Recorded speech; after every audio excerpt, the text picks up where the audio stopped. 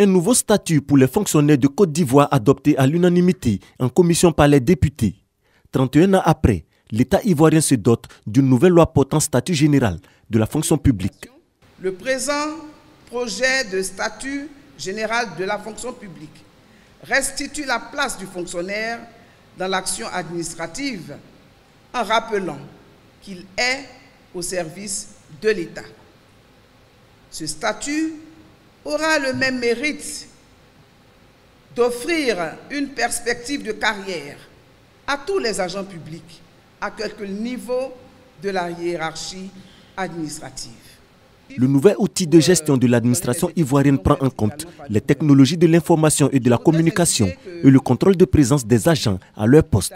Le tout pour une administration publique modernisée, répondant au principe de l'équité.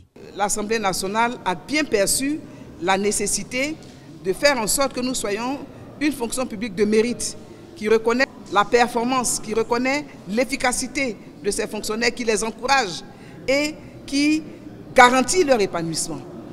Tout cela a été passé au peigne fin par la commission qui a suivi le gouvernement à travers euh, euh, ce vote qui a sanctionné nos travaux.